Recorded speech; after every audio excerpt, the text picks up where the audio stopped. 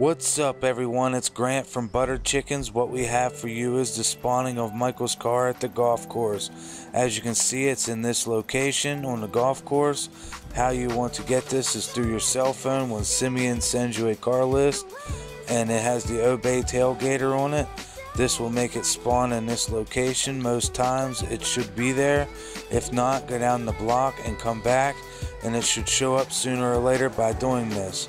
We hope you enjoyed this video. Please subscribe and hit like and have fun on GTA 5.